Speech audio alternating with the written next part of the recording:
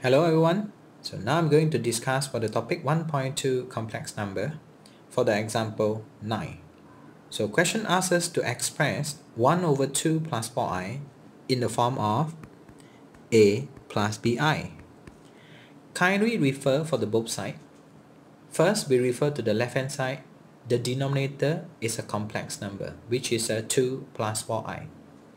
When we refer to the right hand side, the denominator for a plus bi is equals to 1, which is a real number. So in order to make sure the complex number for the left hand side become a real number, we need to multiply with a conjugate. So this is the way how we find the answer. So 1 over 2 plus 4i multiply with the conjugate. So it will become 2 minus 4i over 2 minus 4i. So kindly expand.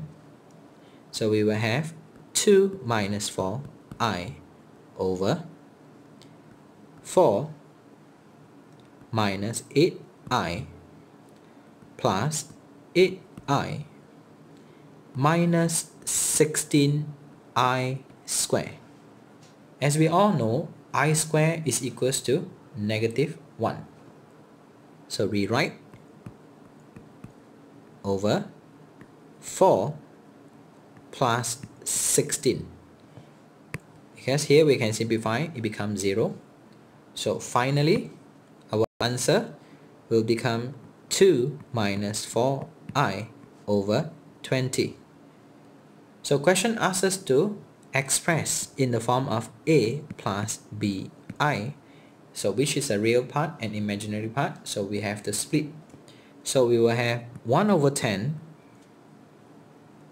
minus i over 5 so which is equals to a plus bi so here we are and thanks for watching